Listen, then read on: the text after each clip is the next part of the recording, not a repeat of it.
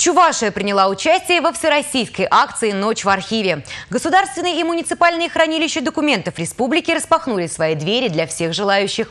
Прикоснулась к страницам истории и наша съемочная группа. Прогуляться по улицам старых Чебоксар, найти собственную музу и узнать больше о временах Великой Отечественной войны. Все это стало возможным благодаря акции «Ночь в архиве», которая прошла в Чувашии впервые. В Чебоксарах свои тематические программы подготовили три государственных архива Чувашии. Исторический, архив современной истории, архив электронной и кинодокументации. В последнем основной темой стало 70-летие Победы. В фондах архива собрана уникальная коллекция военных фильмов, фото и аудиодокументов того времени.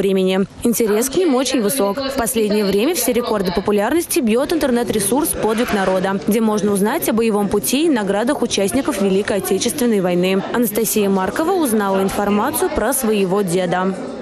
Оказывается, мой дедушка был награжден медалью за отвагу. Я, к сожалению, этого не знала. И в военном билете это тоже не указано, потому что, по рассказам моего отца, а, дедушку, дедушка был в плену последние два года войны. В наградном листе указано то, что а, дедушка, на счету дедушки 11 убитых немцев, и он награжден медалью за отвагу. Вот мне очень, очень важно это. Ну и в архивах Чувашии сосредоточены не менее интересные документы.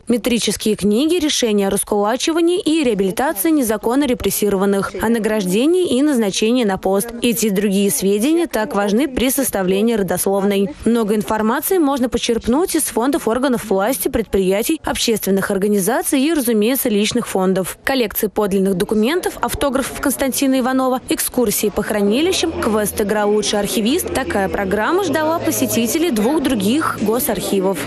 Мы допоздна, конечно, желающие. Мы насчитывали где-то групп три, формировали э, группы три, а сейчас уже народ идет, уже более пяти групп уже прошли наши, э, ознакомились с нашей деятельностью. Надеемся, если народ будет идти, конечно, и до утра можем работать.